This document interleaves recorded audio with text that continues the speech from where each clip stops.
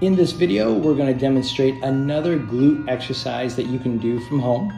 And it's one of Helen's favorites because it's simple to do, it's challenging, but it's simple to perform. And we know that you're going to enjoy this as much as she does as well.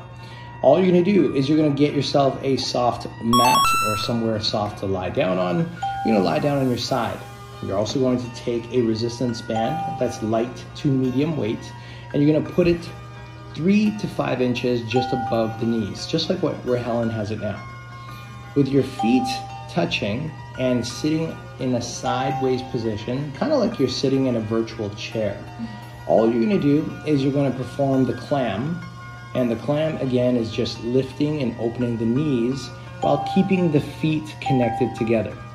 Now, a quick tip as you start to open and close to perform this exercise, you want to ma- manually squeeze your abs and you want to squeeze your glutes in the back. So you don't want to rely on the squeezing just from the resistance of the band, but instead you want to manually do that yourself because adding the pressure in your abs yourself takes away the extra pain from the lower back potentially and it keeps your body in the right form. Squeezing your glutes additionally adds the extra tension that you're trying to create from performing this exercise. Now, as a bonus tip, if you really want to accentuate the pressure in your glutes, you're going to apply this clam position, it's called the clam, opening and closing the knees. But every time you open, you're also going to lift your butt up slowly off the ground. That's it. And then back down. And instantly, what that does is it applies pressure to both the left side and the right side glute muscle.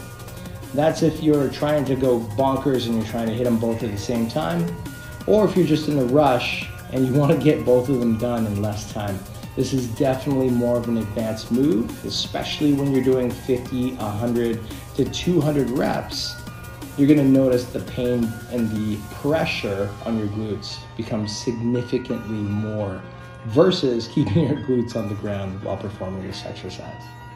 And that is how you perform a clam routine on the ground for your glutes.